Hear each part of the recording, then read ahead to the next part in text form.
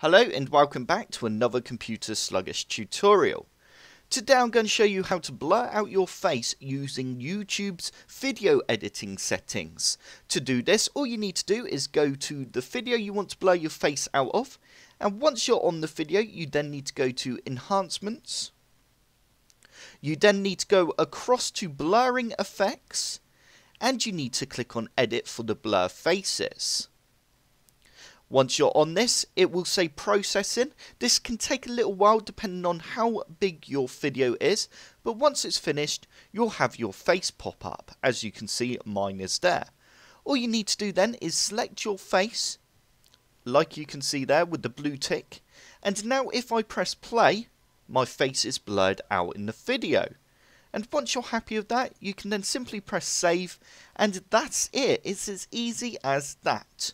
I hope this video's helped. If it has, hit the like button below and subscribe for more computer sluggish tutorials.